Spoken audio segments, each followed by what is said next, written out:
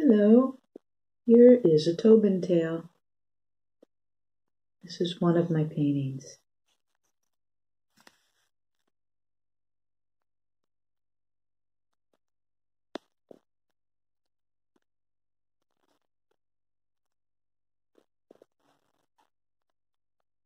It's about how to recycle energy.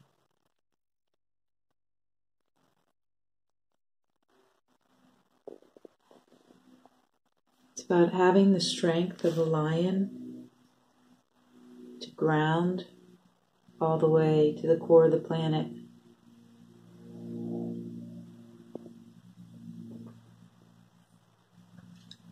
And like the goose, to be brave and be loyal to yourself and have devotion to conserving your energy and preserving it and recycling it. This is a nurse shark. It's one of the largest living fish, fish species. And it's slow moving. Here we have the brown bear.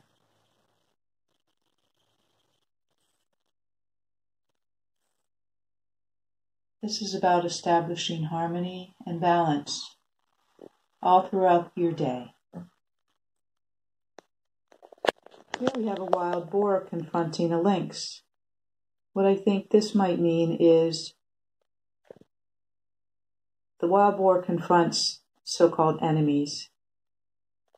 But in this case, I think it's confronting the silence of the lynx who who has a lot of intuition and clairvoyance. So it's about looking at the lynx and saying, no longer need to silence your intuition and clairvoyance.